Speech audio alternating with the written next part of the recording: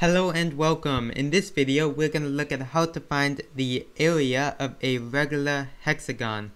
So here we have our hexagon, and we know it's a hexagon because it has six sides. So like most shapes, we find the area of our hexagon using the formula. So the formula for the area of a hexagon is area is equal to 1 half times A times P. So in this formula we have A and P. A is the apothem.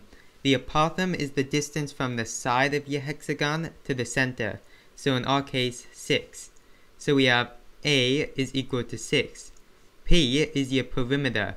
Perimeter is the distance all the way around your shape. So our side length is 7. And this is a regular hexagon, meaning that all of our sides are exactly the same. So that means this side is 7 as well as this side, this side, this side, and this side. So 7 times all of its sides will give you your perimeter. So 7 times 6, which is 42. So P is 42.